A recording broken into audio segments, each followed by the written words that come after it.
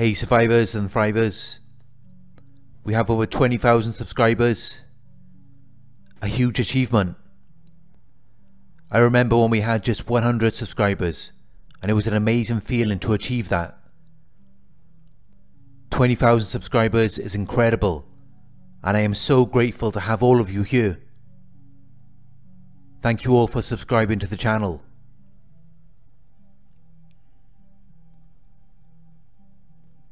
In this video, I'm going to give you four things that the narcissist doesn't want you to know. Please like, comment, share and subscribe. Click the bell icon to receive the notifications for my future videos. If you would like to make a donation, my PayPal link is in the video description. If you're interested in one-on-one -on -one coaching, you can email me at narcsurvivorcoaching at gmail.com.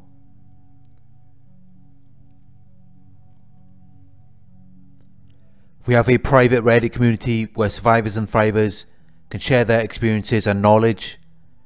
If you are interested in being a part of this community, you can sign up through our Patreon page.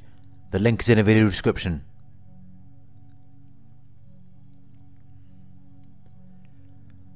Check out the Narc Survivor merchandise store where you can purchase your own Narc Survivor t-shirt or mug. We have a variety of designs and it is a great way to support the channel. The link to our Narc Survivor merchandise store is in the video description.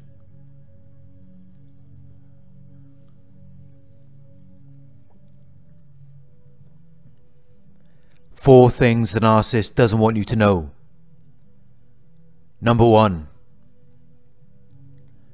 the covert narcissist doesn't want you to know that they are fully aware that what they are doing is wrong. They know that what they are doing is wrong and that is why they do everything they can to hide it.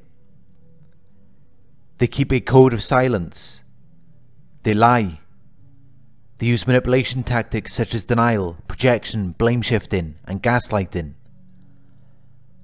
If they really believe that what they are doing is acceptable behaviour, why would they ever need to hide it? Why would they need to lie or use all of these manipulation tactics? The covert narcissist is fully aware that what they are doing is wrong. If they didn't believe that what they are doing is wrong, they would always be like that. You will notice a completely different person from when you are with them in private to when you are with them in public. They understand that their behavior is socially unacceptable, morally wrong, and even against the law. This is why they will do everything they can to hide what they are doing to you.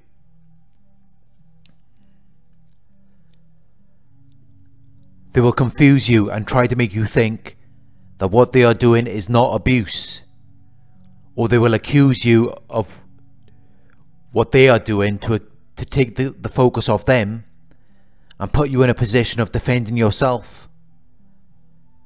They will try to make you think that they don't understand what they are doing or you are hurting them. They will use this to make you doubt your own reality and then claim that you are going crazy or something is wrong with you, which helps them to maintain the code of silence. They don't want you to know that they know their behaviour is wrong, because then they could no longer act like the victim. You would also stop trying to get them to understand as you would realize that their behavior is not going to change. Which leads us to number two. The narcissist doesn't want you to know that they enjoy the dysfunctional environment. They want to make you believe that they hate having you around them or they hate arguing with you. But they actually enjoy it. Conflict is familiar to them. It's what they experienced in their childhood. It gives them an opportunity to abuse, dominate and control you. They like it when you confront them and try to get them to understand. It makes them feel powerful. They already know what they are doing wrong and they have no intention of changing their behaviour. But they like to make a game out of it and put you through their maze with the false belief that maybe this time it will be different. Or if you do this one thing for them, it might be different this time. The truth is, it's never going to change, regardless of what you say or do. And the reason for this is because they prefer dysfunctional environments. They like chaos and drama. It's familiar to what they experienced in their childhood, so it has become attractive to them. It excites them and gives them a sense of belonging.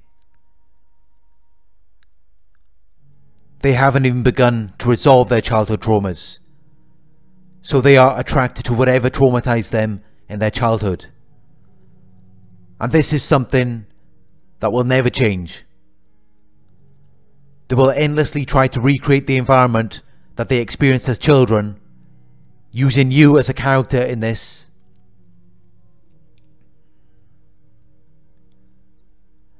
The familiarity makes them feel comfortable and gives them a sense of belonging. But it doesn't heal their traumas because this is something that is supposed to be resolved within rather than being acted out in an external environment. So they gravitate towards anyone or anything that can help them to recreate what traumatized them in childhood.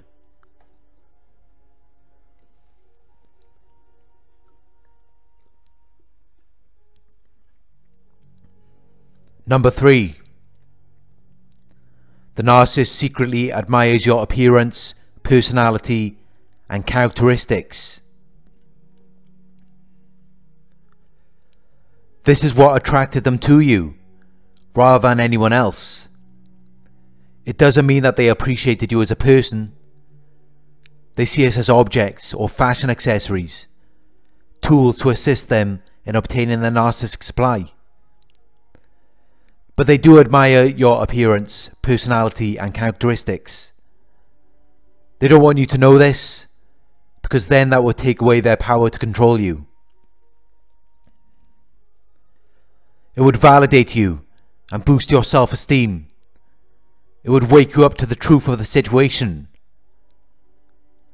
The game is to make you believe that you're not good enough for them, when secretly they know that they're not good enough for you.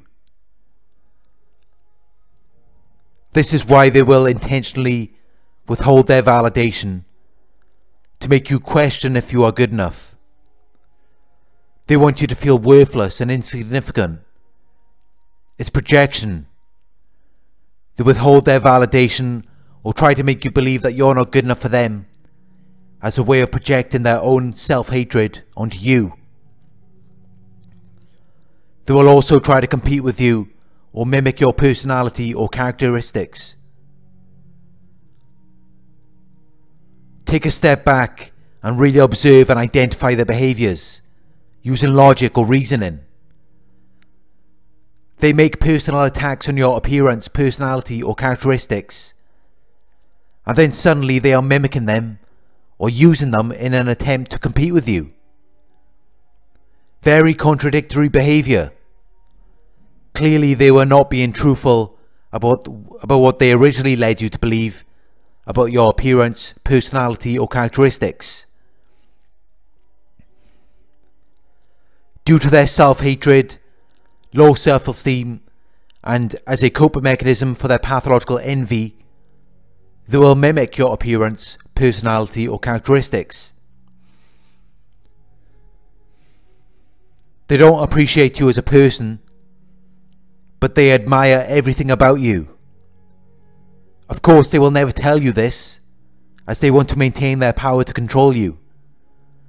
But if you knew the true contrast between them and you, and how much of a better person you are, you wouldn't even desire to be around them. And they know this. They always knew this. That's where their desire or motive to target your self esteem or withhold validation from you came from.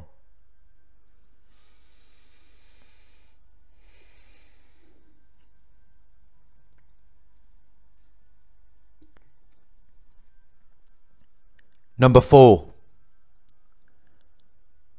They don't want you to know what they are thinking when they are withholding their validation from you. If you really knew what was going on in their minds when they are withholding their validation from you, if you really understood their thought process, you wouldn't waste your time chasing their validation or trying to use logic or reasoning with them. You wouldn't need them to validate you.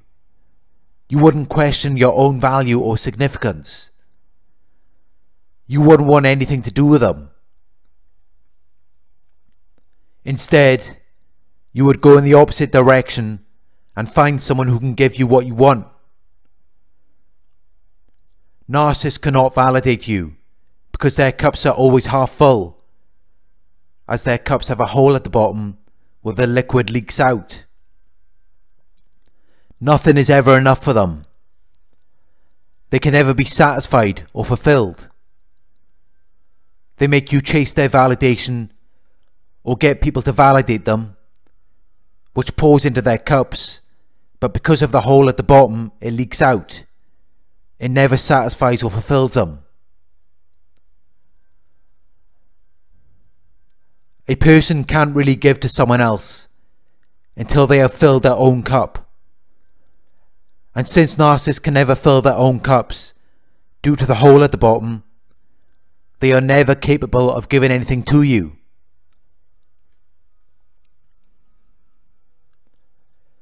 Narcissists are endlessly chasing validation from other people.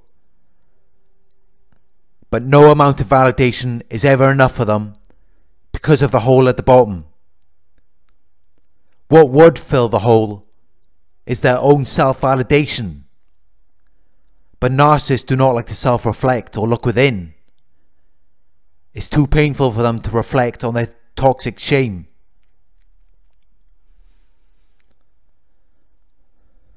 So they will continue chasing validation from other people and using you to chase them and withholding validation from you.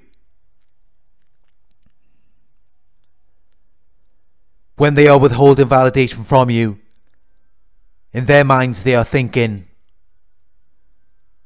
wow, this person really needs what I could so easily give to them. I can just dangle it in front of them like a carrot and they come chasing after it. I feel so valuable and powerful, important and significant. Without me, they are nothing. They have nothing to do. I am giving them their purpose in life. And their purpose is to chase me and the validation which they will never receive.